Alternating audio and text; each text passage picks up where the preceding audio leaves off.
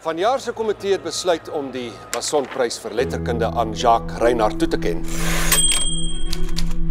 Dames en here, Jacques Reinhardt.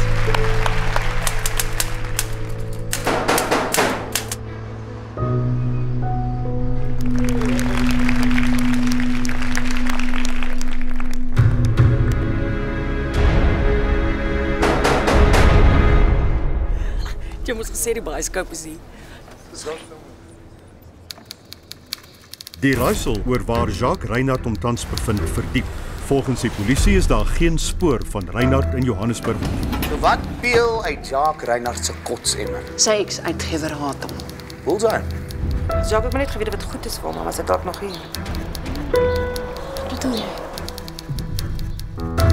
Sy selfoon, was daar nie dalk 'n 'n Die leidraad? laaste SMS was aan uh, Lena Oukamp en Jan Paul Otto. Hy het net gesê vriende vir altyd. Jacques ooit met jou gepraat oor sy bloedtyd, 97 tot 99. Dis net vir ons uitmekaar uit is.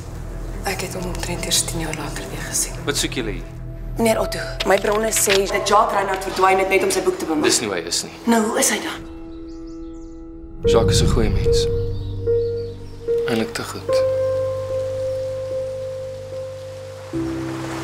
Naam kry.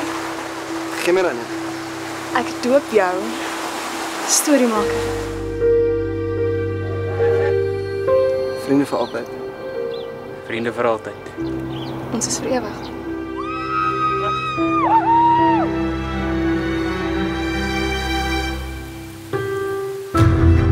Praat die waarheid, Lena.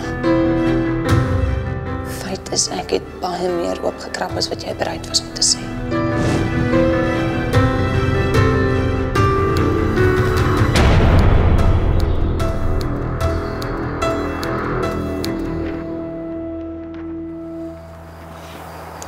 Waar is jy, Jacques Reinhardt?